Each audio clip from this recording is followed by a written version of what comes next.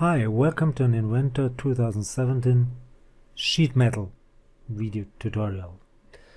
I want to start with a very simple sheet metal bracket which looks like this.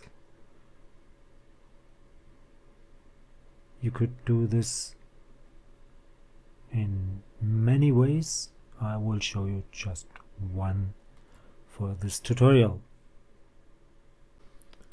So there are two ways to start with a sheet metal part.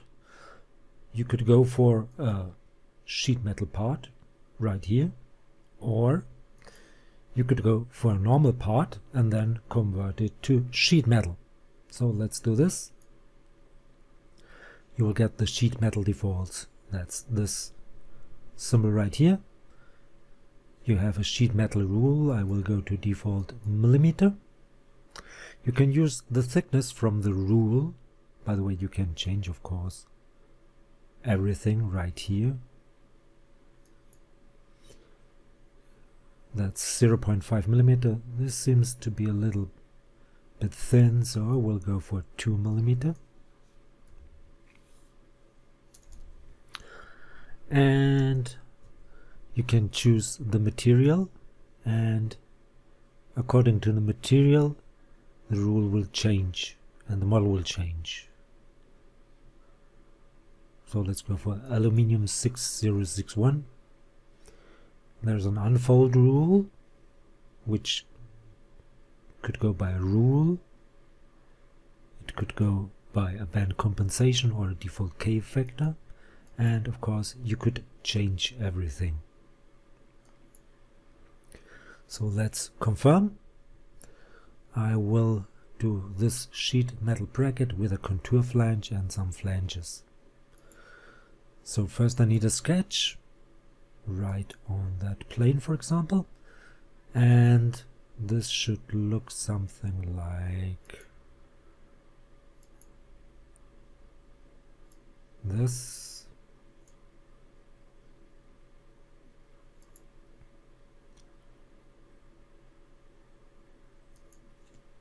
okay. Give it some dimensions or first yeah give it some dimensions. This should be 120 this should be 20 and that distance should be 60 then align the points this point to that one and horizontal this one to that one as well. Then a distance from this one to that point which should be 50 and finish the sketch and let's go for the contour flange. Take note you only have to do the radius in the sketch if it's not the same as the standard bend radius. So you can draw this without the fillet. Go to contour flange. That's the offset which means That's to the inside from the sketch, right here. That's to the other side. And that's symmetrical to both sides. The thickness. Then I go for the symmetric extrusion, which should be 30 millimeters and confirm. Now I need a flange on that edge right here, so go for a flange. And in Inventor you can do the flange angle with 0 degrees. So we'll go for it. The distance should be 10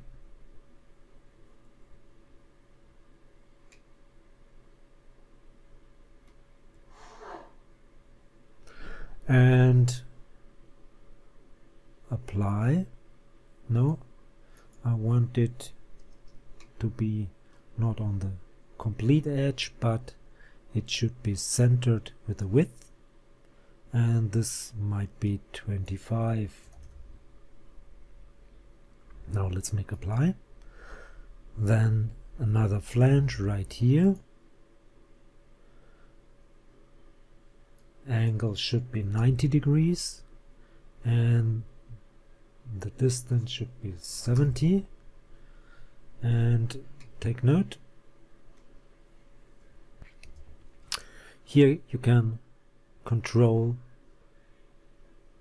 the dimension from which point it's measured.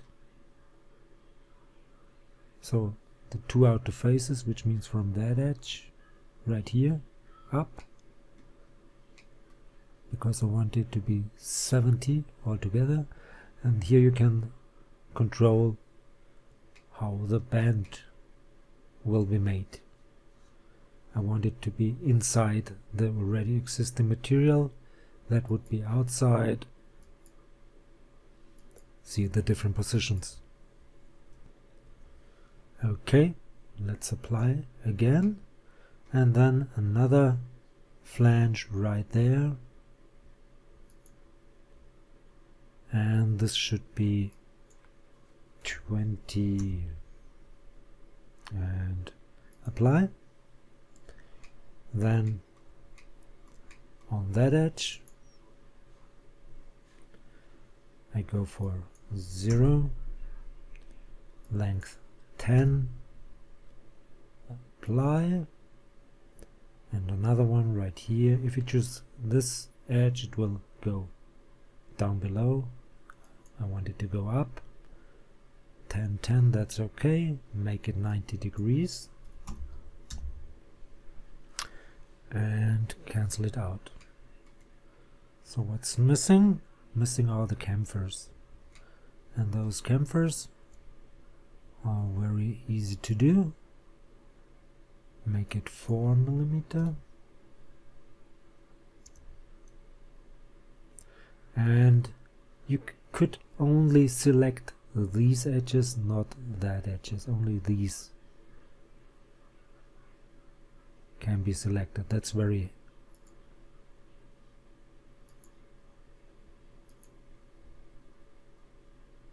nice. Let's take a look. I think I need one here one there one here one there and okay. And I'm done. So how to create the flat pattern?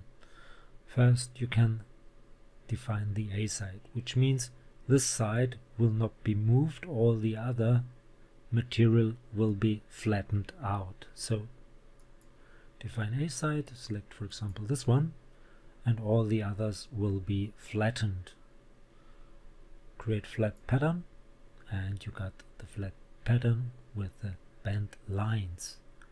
See you have the flat pattern and you go back to the folded part right here.